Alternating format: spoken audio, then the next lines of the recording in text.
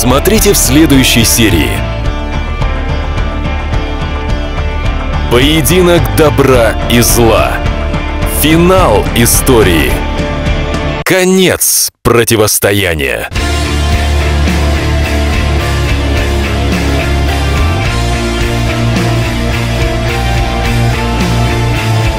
Кто останется на рынке Форекс?